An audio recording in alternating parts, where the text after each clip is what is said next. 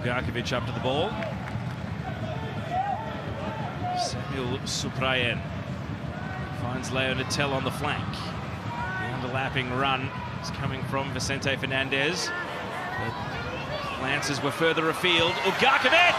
Oh, he showed us his technique, and he very nearly nestled it on the left. Well, it's a well-worked chance early on in this match for Melbourne City. Nice switch of play. Arslan drops it near the penalty spot. Reis. Oh, and it's found a way through. Nuno Reis. In first half stoppage time, puts City into the lead. And Newcastle will rue that they did not hold out till the break. Offsides the call.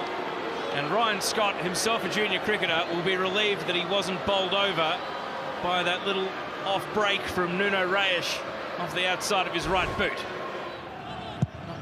Ticking over the way either side might have liked to this point. Could change right here though. Caputo! Great save initially. Ugarkovic!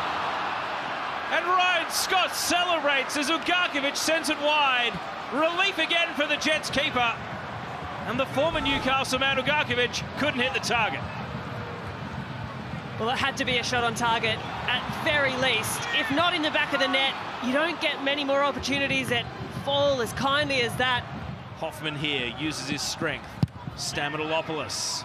Bayliss got first contact, but it wasn't goal bound. And now he's able to pick the pocket of Jakoliš. Wilmering with a shot, saved by Young. Good strong hand to turn it out for a corner kick. That's a wicked strike from Wilmering. Talbot on duty.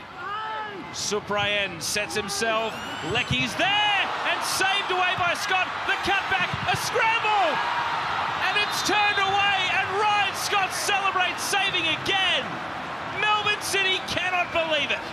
Well, Tolgay Arslan is furious. But what a save from Ryan Scott on the spot, not once. But this one, point blank. And in the moment where Tolgay Arslan was lining up the strike, frustration at his own teammate. They load up and go again. Leckie clips it into the box. Arslan, where's the cutback for him? It's not on. And he waits and he waits and bides his time. And now Leckie lifts it up. Maclaren's there and tipped away by Scott again. Out for a corner kick, but Ryan Scott has had the answers. Well, spectacular once again from Ryan Scott.